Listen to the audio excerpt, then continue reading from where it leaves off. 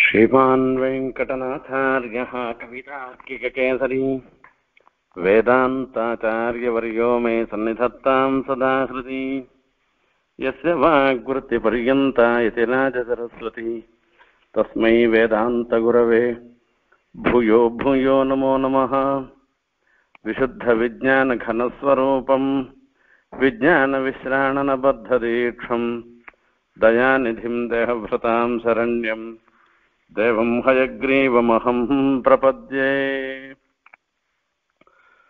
श्रीशैलवंशनिजतातनृसिंहसूरेः पादाम्बुजप्रणयनम् तदवाप्तमन्त्रम् श्रीमन्त्रसिंहगुरुवर्यकपात्तबोधम् श्रीदेवनाथगुरुमात्मगुणाढ्यमीडे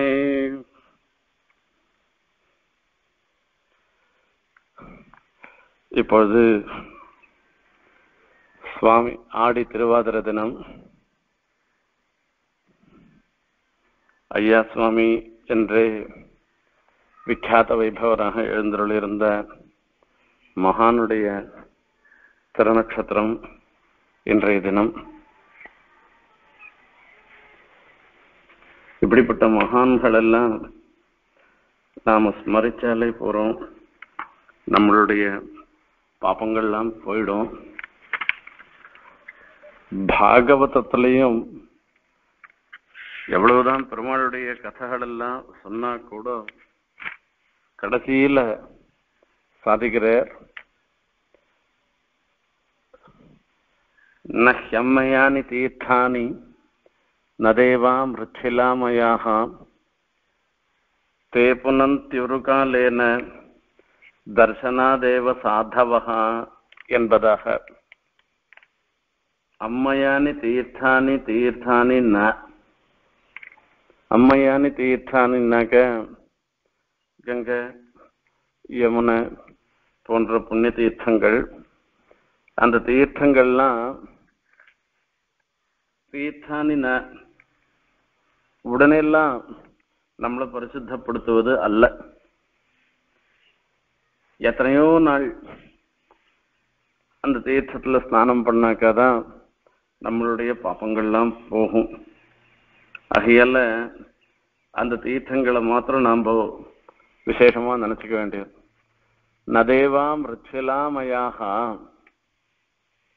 மிருச்சிலாமயாக தேவாக தேவாகன்ன என்ன அர்த்தம்னா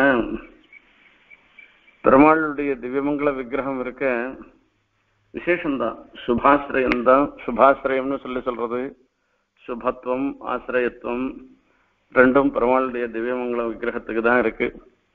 எம்பெருமானுடைய ஸ்வரூபத்துக்கு சுபத்துவம் இருந்தாலும் கூட ஆசிரியத்துவம் கிடையாது. ஆசிரியத்துவன்றது மீதி பதார்த்தங்கள்லாம் கூட இருக்கு ஆனா சுபத்துவம் இல்லை. சுபத்துவம் ஆசிரியத்துவம் ரெண்டுமே இருக்கக்கூடியது.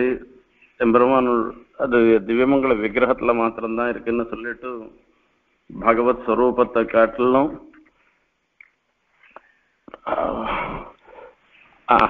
பகவத் ஸ்வரூபத்தை காட்டிலும் இது வந்து ரொம்ப பெருமாளுடைய திவ்யமங்கல விக்கிரகம் ரொம்ப விசேஷம் என்பதாக சொல்ற. அதெல்லாம் காட்டிலும் இன்னும் ஒரு விசேஷம் இருக்கும் அந்த திவ்யமங்கல விக்கிரகத்தையும் நித்தியம் சேவிச்சுட்டு இருக்கணும் எத்தனையோ நாள் மண்டலத்துல பிரதட்சணம் பண்ணிட்டு இருக்கணும் அப்படி எல்லாம் பண்ணாதான் அதுக்கு விசேஷம் இருக்குன்னு எல்லாம் சொல்லி சொல்ற. ஆனா அதெல்லாம் காட்டில இன்னும் ஒரு விசேஷம் இருக்குன்னு சொல்லி சொல்ற.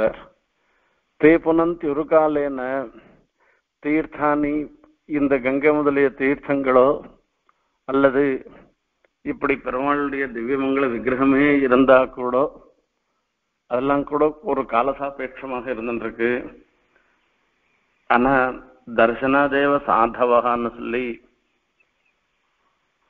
மகான்களை நாம் சேவிச்ச மாத்திரத்தினாலேயே நம்மளுடைய பாப்பங்கள்லாம் போயிடும். நமக்கு சகல க்ஷேமங்களும் ஏற்படும் என்பதாக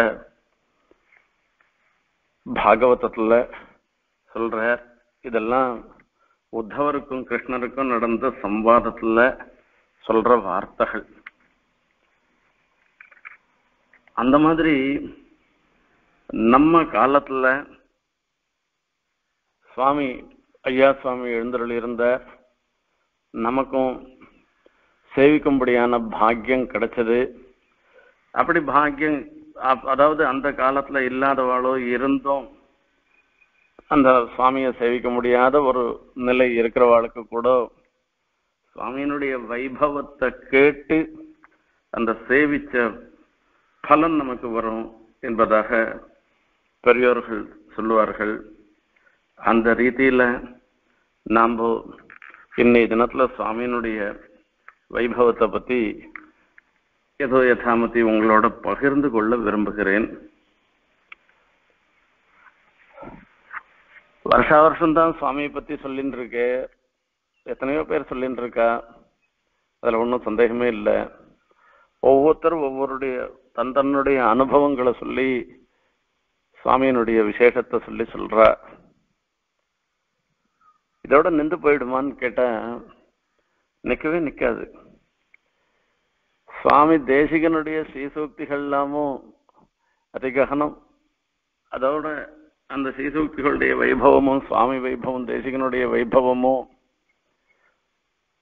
எவ்வளவு நாள் சொன்னாலும் போறாதோ அந்த மாதிரி தான் நம்ம ஆச்சாரியாளுடைய வைபவமும் சொல்லணும். இது தேசிகன்னு சொல்லிட்டு நான் சுவாமியை சொல்றேனேன்னு சொன்னோம்னா ஐயா சுவாமி எல்லாம் நாவல் பாக்கத்துல இருந்த மகான்கள் எல்லாருமே நதைவன் தேசிகாத்பரம் என்கிற முறையில தான் ஆச்சாரிய சார்பவனாக எழுந்தருள் இருந்த தேசிகன் தவிர வேற அதாவது தேசிகனுக்கே உரித்தானத வேற ஆச்சாரியர்கள் விஷயத்துல அவ பண்ணவே மாட்டா. இன்னும் கேட்டா நாவல் பாக்கத்துல சம்பாவனை சொல்லச்சே கூட தேசிகனுக்கு வேற விருதங்கள்லாம் ஒன்றும் சொல்ல மாட்டா. சர்வதந்திர சுதந்திரன்ற ஒரே ஒரு விருதத்தை மாத்திரம்தான் சொல்லி சம்பாவனை பண்ணுவா. அந்த சர்வதந்திர சுதந்திரன்ற விருதத்தை வேற யாருக்கும் எந்த ஆச்சாரியனுக்கும் அந்த இதை சொல்ற வழக்கம் இல்லை. ஏன்னா சுவாமிக்கு அசாதாரணமாக தேசிகனுக்கு ஏற்பட்டது அசாதாரணமாக ஏற்பட்டது. அதை இன்னொருத்தருக்கு அது சொல்றதுக்கு. அவளுடைய ஆச்சாரியால் ரொம்ப வசதி தான். அதுக்காக தேசிகனோட யாரையுமே சமன்படுத்தி சொல்ல மாட்டான் இது பெரியவாளுடைய ஒரு பத்ததி. அந்த மாதிரி தேசிக துல்லியராக நம்ம சுவாமி எழுந்துருள் இருந்தார். சுவாமியினுடைய அனுஷ்டானங்கள் எல்லாம் பத்தி ஏற்கனவே நாம பேசியிருக்கோம். சுவாமி பாதுகாசகத்துல சந்திக்கிறார் தேசிகன். நிஷேகம் அம்பரதலம் எதி பத்திரிகா ஸ்யாத் சப்தார்ணவி எதி சமேத்தி மஷீபவித்ரி வக்தா சஹசிரவதனः புருஷஸ்வயம் சேத் லிக்கேத ரங்கபதி பாதுகையோ பிரபாவா என்பதாக। ரங்கநாத பாதுகையினுடைய பிரபாவங்களை ஒன்றும் சாதாரணமெல்லாம் சொல்ல முடியாது. நிசேஷம் அம்பரதலம் எதி பத்திரிகா சாத்னு அதுக்கு ஒரு பேப்பர் வேணும் பேனா வேணும் இதெல்லாம் வேணுமே அதுக்கு இங்கு வேணும் எல்லாம் வேணுமே சரி பேப்பர் எதுவா எடுத்துக்கிறதுனாக்க ஆகாசம் மொத்தமே சேர்த்து முழுஷா எடுத்து பேப்பரா எடுத்துட்டா கூட சப்தார்ணவி எது சமயத்திலே மஷி பவித்ரின்ற ஏழு கடல்களும் சேர்ந்து அது மையாக ஆனாலும் பக்தா சகசிரவதனஹா புருஷஸ்வயம் சேத். ஒருத்தர் சொல்லி ஒருத்தர் எழுதுறது பட்டோலப்படுத்துறதுன்னு சொல்லுவா. சகசிரவதனகான்னு சொல்லிட்டு ஆதிசேஷன் ஆயிரம் முகம் கொண்டவராக இருக்கிற ஆதிசேஷன். அவருக்கு தான் பெரிய விசேஷம் என்னன்னு கேட்டா பல சாஸ்திரங்களுக்கு பாஷ்யம் சாதிச்சவர் ஆதிசேஷன் தான். வியாக்கரணத்துக்கும் பதஞ்சலியாக இருந்து அவர் தான் வியாக்கரணத்துக்கெல்லாம் மகாபாஷ்யம்லாம் சொன்னவர்னு சொல்ற வழக்கம். ஆகையால ஆதிசேஷனே எழுந்தருளினா கூட அவரே சொல்றவராக இருந்தா கூட இது ரங்கநாதனுடைய பாதுகையினுடைய பிரபாவத்தை எழுத முடியாதுன்றது தாத்பரியம். இதெல்லாம் இந்த இஃப் கிளாஸ் பட் கிளாஸ்ன்னு சொல்கிறாள இது அந்த மாதிரி சொல்லச்சு. இது எல்லாம் ஒன்று சேர்ந்ததுன்னாக்கா ஆகாசம் முழுக்கவே பத்திரிகையாகவும் ஏழு சமுத்திரமும் சேர்ந்து மையாகவும் இதை வக்தா சகசிரவதனாக இருக்கிற ஆதிசேஷனும் அவர் சொல்றவராகவும் இருந்தாக்கா இது சேத்து இப்படி கணக்கு இருந்ததுன்னாக்கா சூரியன் மேற்க உதித்ததுன்னாக்கா என்கிற மாதிரி அது. ரங்கபதி பாதுகையோ பிரபாவகா லிக்கேத என்பதாக சொல்லுகின்றார் சுவாமி தேசிகன். ரங்கநாதனுடைய பாதுகையினுடைய பிரபாவத்தை சொல்லுவோன்னு சுவாமியினுடைய பிரபாவமும் இதே மாதிரி தான் அதெல்லாம் நம்மளெல்லாம் சொல்லவே முடியாது. இன்றைய தினத்துல உங்களோட சுவாமியினுடைய வைபவத்துல ஒரு விஷயத்தை பங்கு போட்டுக்கிறதுக்கு விரும்புறேன். சுவாமியினுடைய பிரவச்சன சாத்துரி எப்படி பாடம் சொல்லுவேர் என்பதை பத்தி. அடைய ரொம்ப வாசிச்சதில்லை. வாசிச்சதில்லைன்னாக்க நான் ராமாயண சங்கிரகத்திலேருந்து ராமாயண சங்கிரகம் ரகுவம்சம் ஆறு சர்க்கம் யாதவாபிதயம் நாலு சர்க்கம் கிராத்தார்ஜனியம் ரெண்டு சர்க்கம் இப்படி இந்த பத்து வயசுக்குள்ள இத்தனை சொர்க்கம் நான் வாசிட்டேன் சுவாமின்ட்டு வாசிச்சேன். எனக்கு என்ன ஒரு அவகாசம்? அந்த அவகாசம்ன்றது எப்போன்னாக்க சாயங்காலம் அஞ்சு ஐம்பதுலேருந்து ஆறு பத்துக்குள்ள இருக்கிற அந்த பத்து நிமிஷத்துலேருந்து பதினஞ்சு நிமிஷம் தான் எனக்குன்ற அவகாசம். சாயங்கால வேலையில் பார்த்தோம்னாக்க சுத்த பிரகாசிக்க சேவிக்கிறதுக்கு வருவா சாமானிய சாஸ்திரம் தர்க்கம் காலக்ஷேபம் த- தர்க்கம் வாசிக்கிறதுக்கு வருவா இப்படி மீமாம்சை வாசிப்பா இவாளுக்கெல்லாம் மத்தியானம் மூணு மணிலேருந்து பாடம் சொல்லிட்டு இருப்பா இப்படி பார்த்தோன்னா அஞ்சம்பதுக்கு முடியும். அந்த அஞ்சம்பதுக்கு வாசத்தண்ணியில் உட்காந்து மனம் அந்த ஸ்லாட்ல கிடைச்சா போச்சு இல்லைன்னாக்கா அப்போ ஏமாந்து போயிட்டோம்னா அன்னைக்கு பாடம் கிடையாது போயிடும். அந்த பத்து நிமிஷத்துலயும் ஒன்றும் இனி எந்த காவியமா இருக்கட்டும் ஒரு ஸ்லோகம் அடைய முன்ன வாசித்தம் என்ன சொல்றேன் அப்புறமா அடுத்த விஷயத்த சொல்லலாம். ஒரு ஸ்லோகம் அல்லது ரெண்டு ஸ்லோகம் வாசிப்பேன். அந்த ரெண்டு ஸ்லோகத்துக்கும் கூட எதுக்குமே ஒரு புஸ்தகம்ன்றது அவர் வச்சுக்கிறது கிடையாது. ஸ்லோகத்தை நான் வாசிப்பேன். அது ஸ்லோகத்தை யார் வாசித்த உடனே பதம் பிரிக்கிறோம். அந்த பதம் பிரிக்கச்சே தப்பு தப்பா பதம் பிரிச்சோம்னாக்க சுவாமியே இது பண்ணுவேர் திருப்பி கொடுப்பேர் பதம் பிரி எத்தனை நாள்டா இப்படி திருப்புன்றதுன்னு சொல்லிட்டு அந்த பதம் பிரித்து இது ரெண்டும் நம்ம காரியம். இதுக்கு அடுத்தது அன்வயத்தை கதையா சொல்லி அர்த்தம் சாய்ப்பேன். இது ஒரு வாட்டி சாய்ப்பேர் மறுபடியும் நாம சொல்லணும். அப்ப அந்த ரெண்டாவது வாட்டியில திருத்தி கொடுப்பேர் இது மூணாவது வாட்டிக்குள்ள முடிஞ்சு போயிடும். இப்படிதான் ரெண்டு ஸ்லோகமும் பாடம். அந்த ஸ்லோகத்துல என்ன சொல்லணுமோ அந்த ஸ்லோகார்த்தம் என்ன தெரியணுமோ அதுல யார் எவ்வளவு தெரிஞ்சுக்கணுமோ அதுக்கு சப்தமோ சமாசமோ அதோட தானே தவிர இது தவிர அதிகப்படியான ஒரு வார்த்தையும் இருக்காது. அதுதான் சுவாமியினுடைய என்ன இந்த மாதிரி இந்த கா விசேஷம்னு சொல்லி சொல்லணும் ஸ்பெஷாலிட்டின்னு சொல்லுவாளே அதுதான். அதே மாதிரி அடி என் தர்க்க சங்கிரகம் வாசிட்டேன் அதுக்கப்புறமா நியாயபோதினி தீபிக பிரகாசிக்க முக்தாவளி தினகரியம் வரைக்கும் வாசிச்சிருந்தேன் அந்த சாஸ்திர பாடங்கள் வாசிக்க செய்யும் கூட தர்க்க சங்கிரகத்தில் என்ன சொல்லணுமோ அவ்வளோதானே தவிர தர்க்க சங்கிரகம் பாடம் சொல்லச்சே தீபிக விஷயம் வராது நியாயபோதனை விஷயம் வராது. அதே மாதிரி பிரகாசிக்க தீபிக வாசிக்கச்சே அதனுடைய வியாக்கியானமாக இருக்கிற பிரகாசிக்க பிரகாசிக்கையில் சொல்லியிருக்கிற விஷயங்கள்லாம் வராது. அந்த பிரகாசிக்க வாசிக்கத்தே தான் அது வருமே தவிர வேற எதுவும் வராது.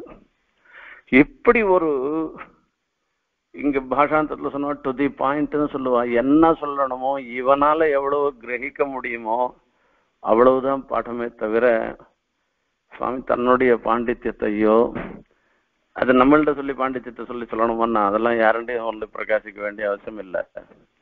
ஆனா எல்லா பாட்டத்திலையும் சரி அதே மாதிரி ஸ்ரீமத் ரகசிய திரைசாரம் காலக்ஷேபம் பண்ண கீதா இதுக்கு பாஷ்ய ஸ்ரீபாஷ்யம் காலக்ஷேபம் பண்ண செய்யும். பாஷ்ய பங்கியினுடைய அர்த்தம் என்னவோ அந்த அர்த்தம். எம்பெருமானாருடைய திருவிழா என்னவோ. அங்கங்க எப்பயான சில சமயங்கள்ல சில இந்த சப்தகத்தி அதிகரணம் மாத்திரம் அந்த மாதிரி வரைச்சு. அங்கெல்லாம் வரைச்சு தனித்தனியா. இப்படி பதம் எப்படி பிரிக்கிறது அப்படின்றதெல்லாம் கொஞ்சம் சிரிச்சுண்டு இது முக்கூரேஷிங்கர்ன்ற கேட்டா யாரோ சதஸுக்கு போனா அவ தப்பு சொன்னா இப்படிதானே அப்படின்னு அவர் விளையாட்டா கேட்டார் அப்படின்னு எதை நான் சொல்லி அங்க நம்ம ஏமாந்து போகக்கூடாதுன்றதுக்காக ஒரு வார்த்தை ரெண்டு வார்த்தை சாதிப்பாரே தவிர என்ன பாட்டமோ அந்த பாட்டம்.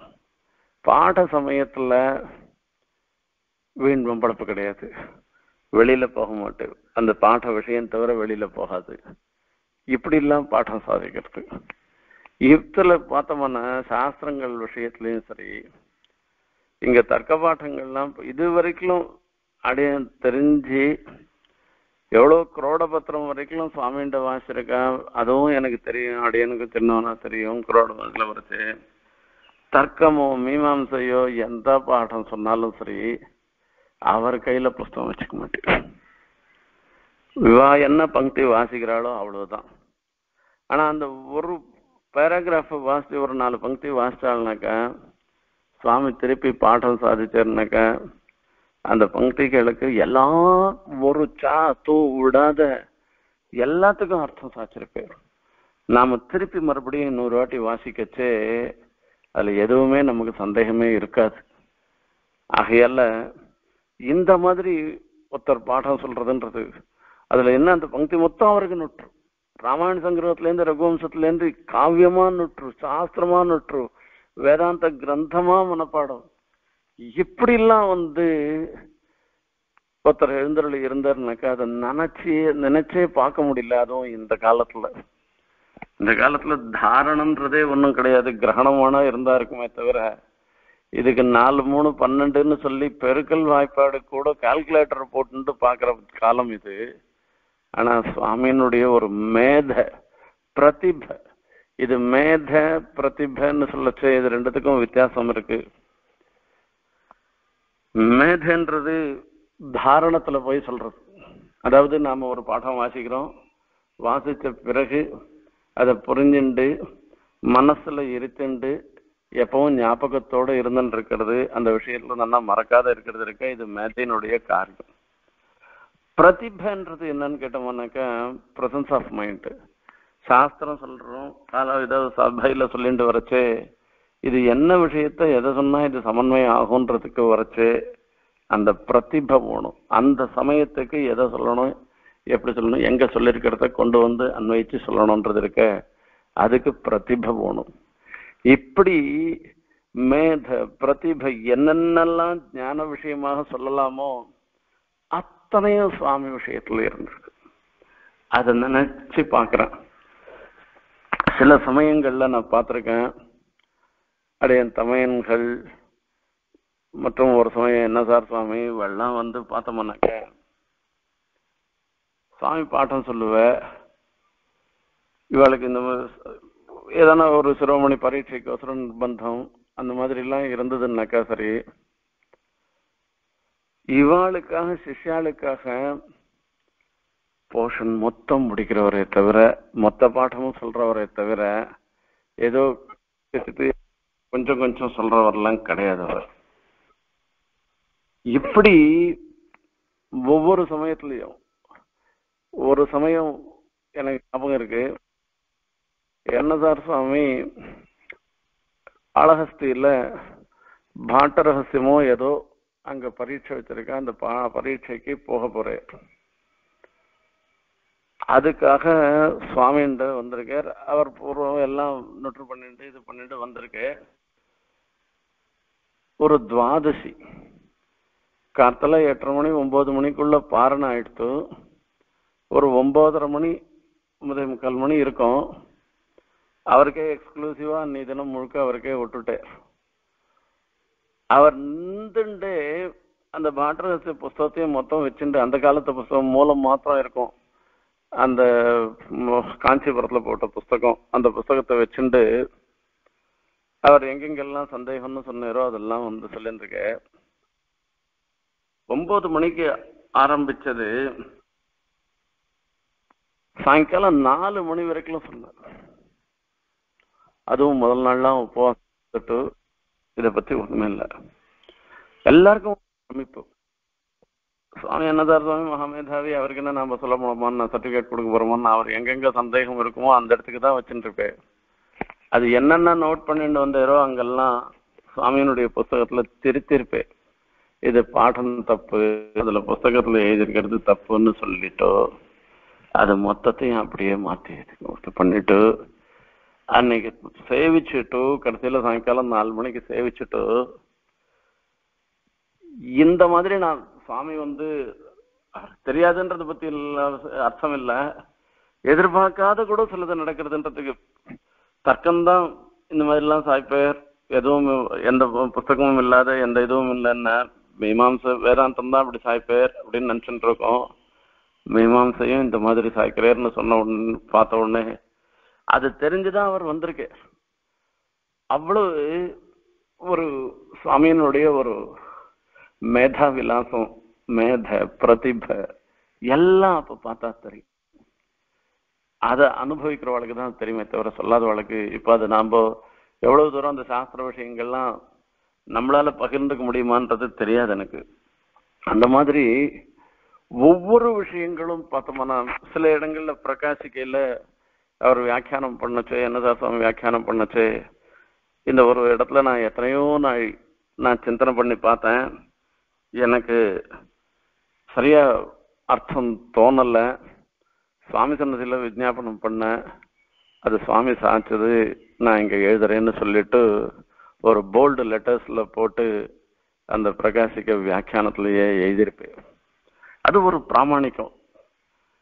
இதுக்காக இந்த மாதிரி சுவாமியினுடைய பாட்டங்கள் நான் ஏதோ ஒரு எக்ஸாம்பிளுக்காக தான் ஒன்று சொல்றேன்.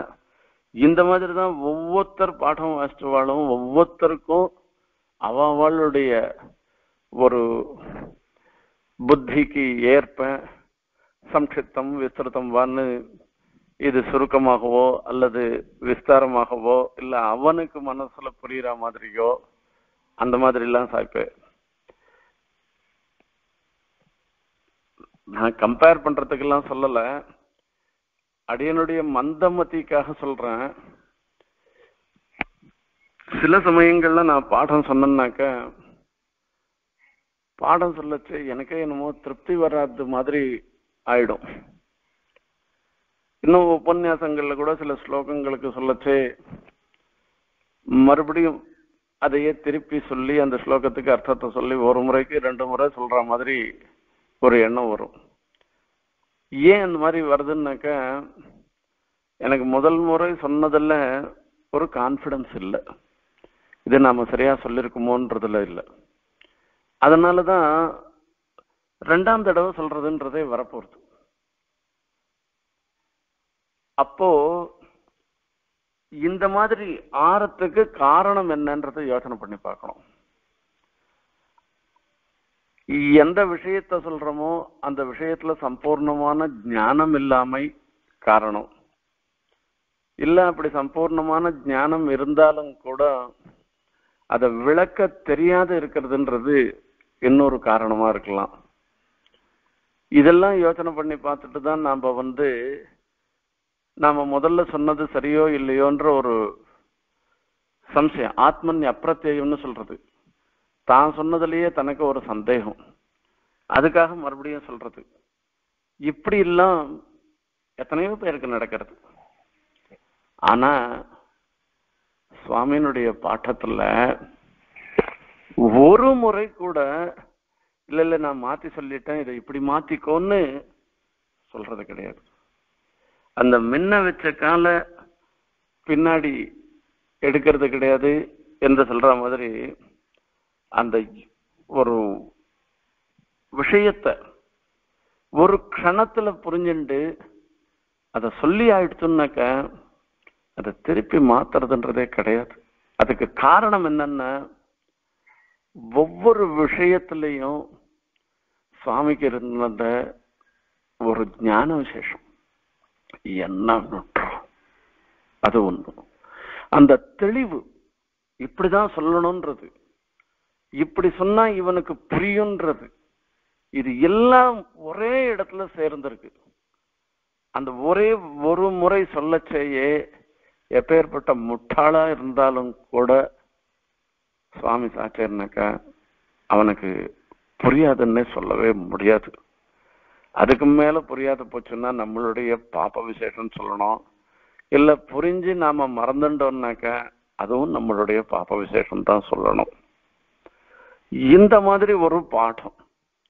இந்த பாடங்களை சாமி எத்தனை திருநட்சத்திரத்துல ஆரம்பித்து ஆரம்பிச்சு சாட்சிந்தேர்ன்றது நமக்கு தெரியல. என்ன முப்பது திருநட்சத்திரத்துலேருந்தே நிறைய பேர் சுவாமி இந்த பாடம் வாசிச்சவா இருந்திருக்கா? அதாவது அதுக்கு முன்னே இருபத்தஞ்சு இருபத்தி நாலு திருநட்சத்திரத்துலேருந்தே அவர் ரெண்டு பாடம் சொன்னவா? கூட வாசிச்சவாளுக்கு சப்ரம்மச்சாரிகளாக இருந்துருக்கிறவாளுக்கு சிந்தனை சொல்றது அந்த மாதிரி எல்லாம் நிறைய பண்ணிருக்கிறவ ஆனா தொண்ணூத்தி ரெண்டு திருநட்சத்திரம் வரைக்கும் பாடம் சாத்திருக்கார். அனுசியூத்தமாக விடாத பாடம் சாத்திருக்கார். ஒரு யூனிவர்சிட்டி பண்ணாத காரியத்தை சுவாமி பண்ணிருக்கார். இதெல்லாம் நாம நினைச்சு பார்க்குறோம் தேசிக சம்பிரதாயத்துக்காக சுவாமி சாதிச்சு என்னதான் சாய்க்கலன்னா சுவாமி தேசிகன் சாய்க்கிறார். நிர்விஷ்டம் எதி சார்வபௌமோ வச்சசாம் ஆவருத்தபிரி யௌவனம் निर्धूतेतरपारतन्त्रनिरयाः निहिताः सुखं वासनाः। अङ्गीकृत्य सतां प्रसत्यमसतां गर्वोऽपि निर्वापितः।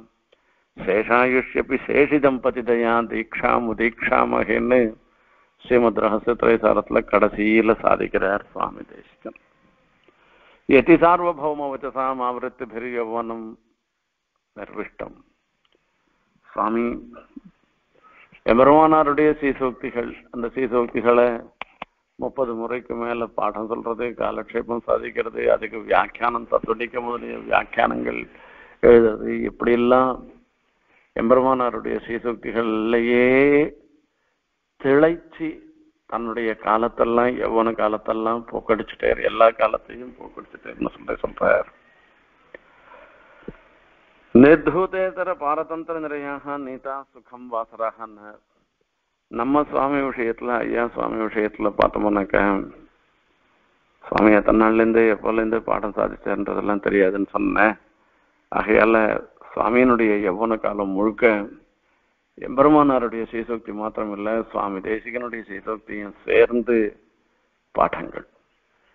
தேசிகனுடைய சீசோக்தியில் இப்போ கடைசியில் கூட அவருடைய எண்பத்தஞ்சு எண்பது திருநட்சத்திரத்துக்கு மேல அநேகமா அப்பெல்லாம் வேதாந்தம் தவிர வேற சாமானிய சாஸ்திரம்லாம் பாடமே சொல்றதையே விட்டுட்ட காலத்திலேயே கூட என் தம்பிக்கும் என் தம்பி பேரும் சடகோப்பன் காஞ்சிபுரம் சுதந்திரதாச்சாருடைய பேரும் அவரும் சடகோப்பன் தான். ரெண்டு பேரும் அப்பாவுண்ட அத்தியனம் பண்ணிட்டு இருக்கச்சே ரெண்டு பேருக்கும் பாதுகா சாஸ்திரம் பாடம் சாச்சு அது சுவாமிகிட்ட வாசிக்கிறது என்ன கிரந்தம்ன்றது இல்லை ஓரென்று தானே அமையாதோ தாரணியில் வாழ்வார்க்கு வானேர போமளவன்னு வாழ்வுன்னு ஒரு ஸ்தோத்திர பாடம் கத்துண்டா கூட போறோம் சந்தோஷம் நிக்கேத்தம் கத்துண்டா கூட போறோம். நம்ம புருஷ ஆயுஸ் இருக்க அது சஃலமாயிடும் வேதாந்தம் தான் காலக்ஷேபம் பண்ணணும் அந்த சிபாஷ்யம் தான் காலக்ஷேபம் பண்ணணும்லாம் நினைக்க வேண்டாம். சுவாமிகிட்ட ஏதோ ஒரு புஸ்தகத்தை ஒன்று பிரிச்சுமான போகிறோம் நமக்கு அதை காட்டிலும் புருஷார்த்தம் வேற ஒண்ணுமே இல்லை அன்னைக்கு இருந்தவாளுக்கு அப்போ அந்த பாதுகா சாஸ்திரம் பாடம் சொல்றது பார்க்கணும். அதுவும் வேதாந்த விஷயமா தான் இருக்கணும். இந்த மாதிரி தான் இருக்கும் ரகுவம்சம் பாடம் சொல்றதெல்லாம் விட்டுட்டு பாதுகா சாஸ்திரம் தான். ஆரம்பத்துல இருந்து கடைசி வரைக்கும். அது நுற்று மனப்பாடம். அதையும் ரெண்டு வாட்டி சொல்றது இல்லை அது சின்ன அனுஷ்ட ஸ்லோகமா இருந்தாலும் சரி பெரிய ஸ்ரக்தரையா இருந்தாலும் சரி அந்த அந்த பாடம் வாசிக்கச்சே நாம வாசிக்கிறோமே. அதுதான். அவர் ஒன்றும் புஸ்தகம் வச்சுட்டு இருக்க மாட்டே அந்த பதம் பிரிக்கிறது இதெல்லாம் பார்த்த உடனே அவரே அர்த்தம் சொல்லிட்டு வர போறார் ஒரே ஒரே ஒரு முறை கேட்கறது தான் இதுக்கெல்லாம் அந்த ஒரு கான்சன்ட்ரேஷன் நாம சொல்றது கேட்கறது அதாவது என்ன பண்றோன்றது அவசரப்படாத சொல்றது இதெல்லாம் தான் தேவையான ஒரு விஷயம். அந்த பாட்டத்தை சுவாமி சாக்கு இது எதுக்காக சொல்றேன்னாக்க கடைசி தினத்துல கூட சுவாமி பரமபதத்துக்கு எழுந்துருளத்துக்கு முன்ன ஒரு நாலு நாள் முன்ன விஜயதசமி. அன்னைக்கு கூட சுவாமி திருமேனி பாங்கில்ல அன்னைக்கு கூட இன்னைக்கு என்னடா விஜயதசமி வீணா போறதுன்னு சாய்க்கிறார். இந்த பாடம் வாசிக்கலன்னா வீணா போயிடுது பாடம் சொல்லலைன்னா வீணா போயிடுதுன்னு அந்த வித்யா விஷயத்துல சுவாமிக்கு ஒரு என்ன சொல்றதுன்னு எனக்கு வார்த்தையே வரல. சுவாமியினுடைய ஒரு நோக்கம் இருந்திருக்க அது அந்நியாதர்சமானது வேற எங்கேயுமே பார்க்க முடியாது. ஒவ்வொருத்தருடைய இது வேற. இப்படி எம்பெருமானாருடைய ஸ்ரீசூக்தி சுவாமி தேசிகனுடைய ஸ்ரீசூக்தி நான் எதுக்கு சொல்றேன்னா எத்தி சார்வபௌம வச்சசாம் ஆவரத்து பெரிய வனம்னு சுவாமி தேசிகன் சாதிச்ச சுவாமி கடைசியில சாதிச்ச பாடம் அதிகரண சாராவடு சுவாமியினுடைய தொண்ணூத்தி ரெண்டாவது திருநட்சத்திரத்துல விஜயதசமிக்கும் மறுநாள் ஏகாதசி அந்த நாள்ல அதுக்கப்புறம் அனந்தீனம் வந்துடுத்து அதுல சுவாமி வந்து திருத்தியில துத்திய திருத்தியில பரமத்துக்கு போயிட்டார். அப்ப அந்த கடைசியிலையும் அதிகரண சாராவளி தான் சாட்சி இது எம்பெருமானாருடைய சீசக்திக்கும் சேர்ந்தது சுவாமி தேசிகனுடைய சீசக்தி ரெண்டுமா சேர்ந்து சுவாமி சாதிச்சிருக்காருனாக்கா அவருடைய எவ்வனம் மாத்திரம் இல்ல ஆயுஷே அப்படி போயிட்டு சுவாமி எத்தனை காலம் இங்க அவதரிச்சு எழுந்தருள் இருந்தாரோ அந்த அவதாரம் முழுக்க அவதாரத்தை காலம் முழுக்க இப்படி சுவாமி தேசிகனுடையவும் எம்பெருமானுடைய சீசுக்திகளாலேயுமே தன்னுடைய காலம் முழுக்க கழித்தவர். நிர்தூதேத்தர பாரதந்த நிறையா நீதா சுகம் வாசராக ஒத்தரிடத்துல கையேந்தி நிக்கல. அந்த எல்லாம் அப்படியே அந்த தேசிக விற்பி தான். ஆனா ரொம்ப கம்பீரமான ஒரு விருத்தி. யாருண்டையும் ஒன்றும் கேட்க கிடையாது. என்ன உண்டோ இருக்கிறதோட இருந்துட்டு இருக்கிறது. இப்படி ஒரு இடத்துல வேலைக்குன்னு போய் கையை கட்டி சம்பளம் போட்டு கையெழுத்து போட்டு சம்பளம் வாங்கி எந்த காரியமும் பண்ணது கிடையாது.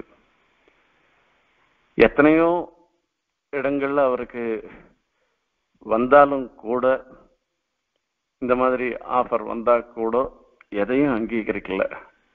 தேசிகன் எப்படி எழுந்துள்ள அந்த பரதந்திரனாக இல்லாத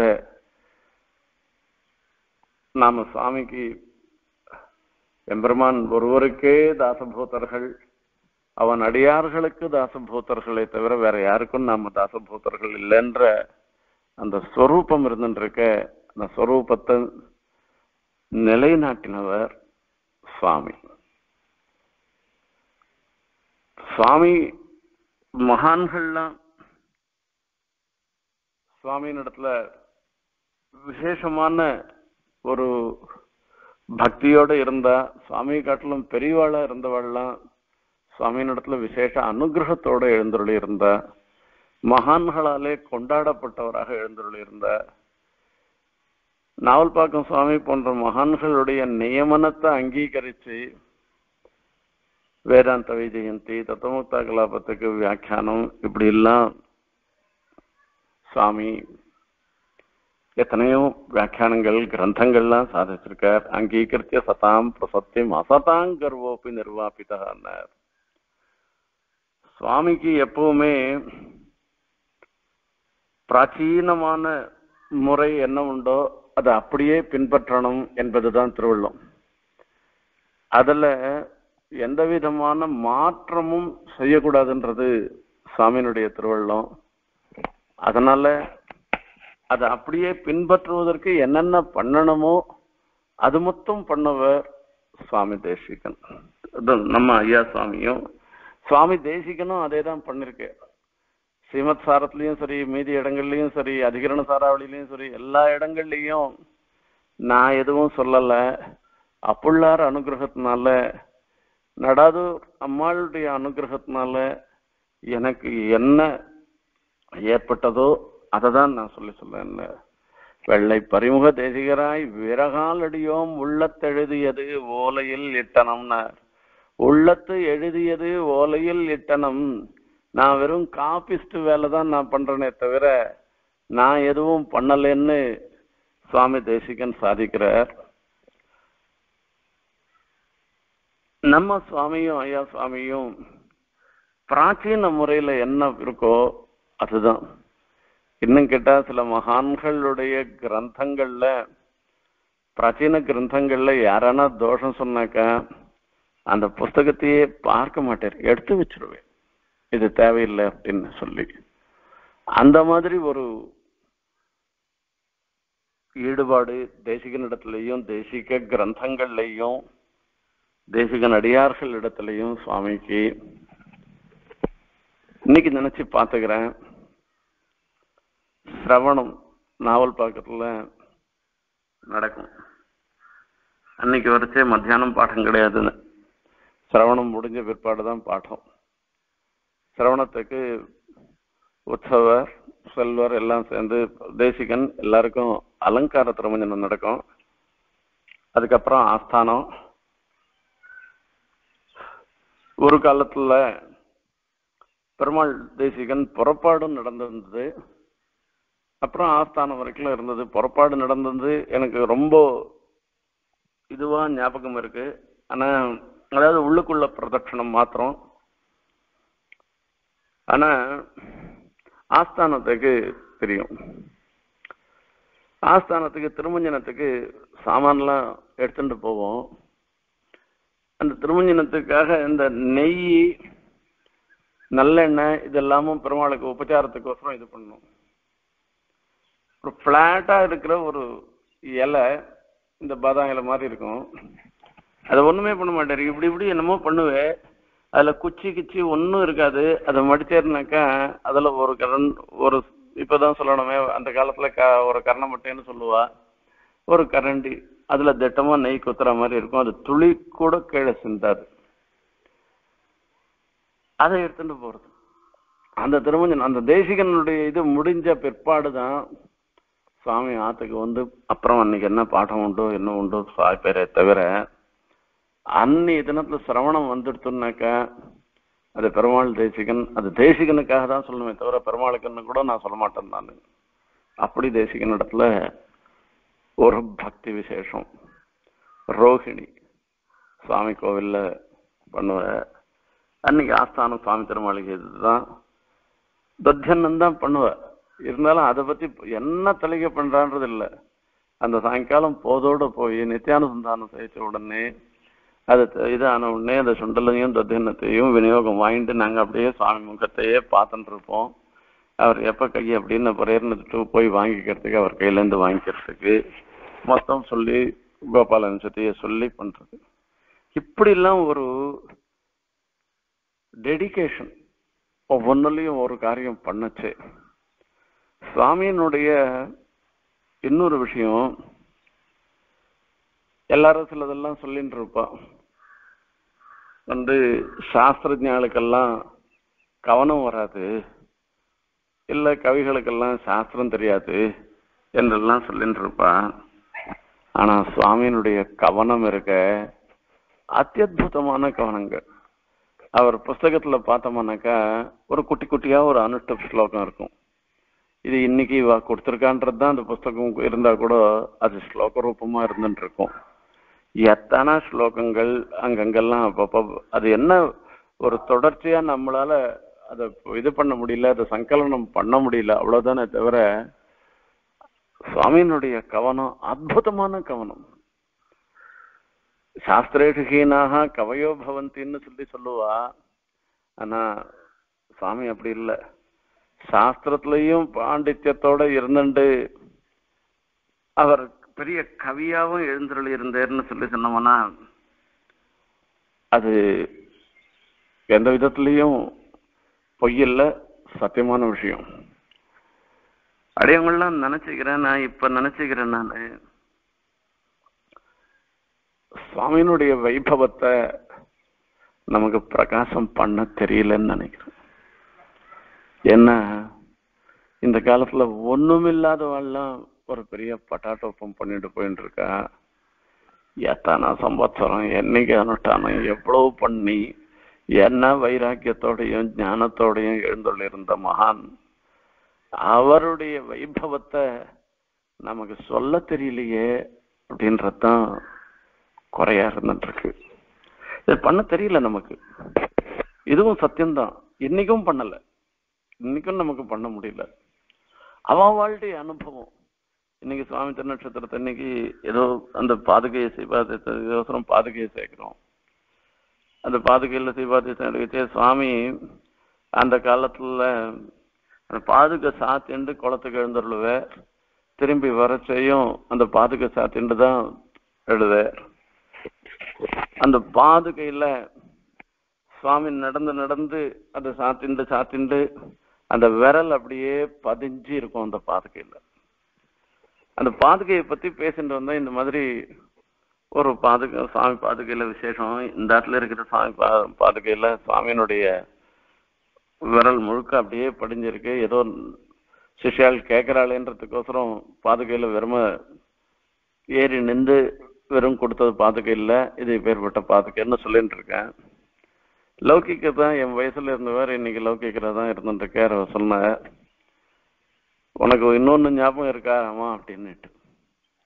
என்னன்னா சுவாமி அந்த பாதுகையும் சாத்திண்டு சில சமயங்கள்ல அந்த தாழங்கொடையும் எடுத்துட்டு ஏழுவே ஒரு யஜ்னோபவித்தத்தை போட்டுண்டு தாழங்கொடையும் எடுத்துட்டு ஏழுவே நீ பார்த்துருக்கு ஞாபகம் இருக்கா உனக்கு அப்படின்னு கேட்ட வாஸ்தவம். தாழங்குடைன்னா இப்ப இந்த கேரளாலாம் இருக்க மாதிரி ஒரு இந்த நூலால கூட கிடையாது. இந்த ஒரு ஓலை மாதிரி ஒன்று இருக்கும். அந்த ஓலையால ஒரு கூட அது ரவுண்டா இருக்கும். இது பார்க்கறதுக்கு இந்த வாமனாவதாரத்துல பெருமாள் எடுத்துட்டு எழுந்துடுற மாதிரி ஒரு கொடை அது. அந்த மாதிரி ஏன்னா இந்த நூல் இந்த கம்பி இந்த துணி இதெல்லாம் இருந்தா அசுத்தன்றதுக்காக சுவாமி இந்த கொடையை உபயோகப்படுத்த மாட்டேன் எப்பனா வெளில போகணுமோன்னா அந்த கொடையை தான் எடுத்துட்டு எழுவேன். அது ஒரு மூங்கில் கொம்பால இருந்துட்டு இருக்கும். உனக்கு ஞாபகம் வருதா அப்படின்னு சொல்லி கேட்டா அப்பதான் நினைச்சுட்டேன் சுவாமி ஒவ்வொருத்தருடைய மனசுல ஒவ்வொரு மாதிரியா அவர் அப்படியே பதிஞ்சிருக்கு. அது அது ந- நினைச்சு பாக்குறேன் நானு. ஒரு பாதுக சாத்திண்டு சுவாமி தாழங்கூட எடுத்துட்டு சில சமயத்துல தூர போறதுக்கு இருந்துன்னா கொஞ்சம் தூரம் போக வேண்டிய கழனிக்கு போக வேண்டியதா இருந்துன்னாக்கா அதை எடுத்துட்டு ஏழுவேன். அதை ஒரு அனுபவிச்சு ஒருத்தர் சொல்றாருனாக்கா எப்படி ஒரு ஈர்ப்பு ஒண்ணுமே தெரியாதவா? இது சாஸ்திரம் தெரிஞ்சுக்க வேணாம் இல்ல சாகித்யம் தெரிய வேணாம் ஒன்னும் தெரிய வேணாம். சுவாமியினுடைய திவ்ய மங்கள விக்கிரகம் இதுவே நமக்கு சுபாசிரியம் இதை தியானம் பண்ணா போறோம் நம்மளுடைய பாப்பங்கள்லாம் போகும். அதுல ஒன்றும் சந்தேகமே இல்லை. இப்படி ஒவ்வொருத்தரும் ஒவ்வொரு பிரகாரமான ஒரு அனுபவத்தை இன்னைக்கும் வெளிப்படுத்தின்னு இருக்கா சுவாமி சுவாமி சுவாமின்னு சொல்லிட்டு. ஆனாலும் கூட இது எல்லாத்தையும் சேர்த்து வச்சு ஒரு சிங்க்ரனைஸ் பண்ணி ஒரு பெருசா பண்றதுக்கு நம்ம யாருக்குமே தெரியலையேன்னு தான் அடியவங்களுக்கெல்லாம் இன்னும் குறையாதான் இருந்துட்டு இருக்கு சுவாமியினுடைய வைபவத்தை. அதுலயும் இன்னும் அதமர்ணனாக தான் நாங்கள்லாம் இருந்துட்டு இருக்கோம்னு சொல்லணும். இப்படி ஒவ்வொரு விஷயமும் பார்க்கணும். சுவாமி எப்படி வேறு என்ன சமாச்சாரம்னு இந்த நாலு நாளும் இந்த ஸ்ரீகிராமத்துல இருந்துட்டு பாராயணம் பண்ணிட்டு இருக்கச்சே கூட ஒவ்வொரு வேளையும் ஒவ்வொரு சமயத்துல சுவாமியை பற்றிய ஒரு சிந்தை தான். அந்த சுவாமி இதனுடைய ஸ்ரீபாத தீர்த்தத்தை இன்னைக்கு ஸ்வீகரிச்சுதான் இருக்குன்றது இருக்க அது அதுவே பரம புருஷார்த்தம்னு சொல்லிட்டு எல்லாரும் வந்து இந்த திருநட்சத்திரத்துல அன்வைச்சுண்டா சில சமயங்கள்ல நம்மளுடைய தௌர்பாகியம் எல்லாரும் சுவாமியினிடத்துல ஈடுபாடு இருக்கிறவா தான் நம்மள ஒதுக்கினாலும் ஒதுக்கி விடுறது இந்த ஸ்ரீபாத தீர்த்தத்தை வாங்கிக்க முடியாதையும் பண்ணி விடுறது. அது நம்மளுடைய தௌர்பாகியம்தான். ஆனா அதனால ஒன்றும் சுவாமியினுடைய அனுகிரகம் குறைஞ்சு போயிடுத்துன்றது ஒன்றும் கிடையாது. சுவாமியினுடைய அனுகிரகம் நம்ம எல்லாருக்குமே இருந்துட்டு இருக்கு இப்படியே சொல்லிட்டு போயிருந்தோம்னாக்கா எவ்வளவு வேணா சொல்லிட்டு இருக்கலாம் சுவாமியினுடைய வைபவ விஷயத்துல நான் ஒரு ஊமை மாதிரி தான் மூக்க தான் மூக்கன் தான் எனக்கு எதுவும் சொல்ல தெரியாது. ஆனா சுவாமி இப்படிப்பட்ட வைபவசாலி வைபவசாலின்றது தான் எனக்கு எனக்கு சொல்ல தெரியும். என்னுடைய அனுபவத்தையும் இங்க இருக்கிற பாகவதாளுடைய அனுபவங்களையும் உங்களோட இன்றைய தினம் பகிர்ந்து கொண்டு ஒரு சந்தோஷத்தை அடைகிறேன். நம்ம எல்லாருக்கும் ஐயா சுவாமியினுடைய அனுகிரகம் பரிபூர்ணமா இருக்கணும்னு பிரார்த்திச்சுண்டு விடைபெறுகிறேன். கவிதார்க்கிக சிம்ஹாய கல்யாண குணசாலினே ஸ்ரீமதே வெங்கடேசாய வேதாந்த குரவே நமகான்